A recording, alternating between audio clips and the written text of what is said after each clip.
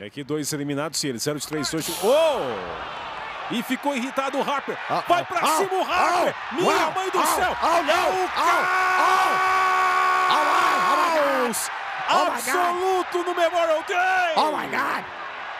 Minha mãe do céu! Ficou alucinado o Bryce Harper e foi pra cima do Strickland. Uou!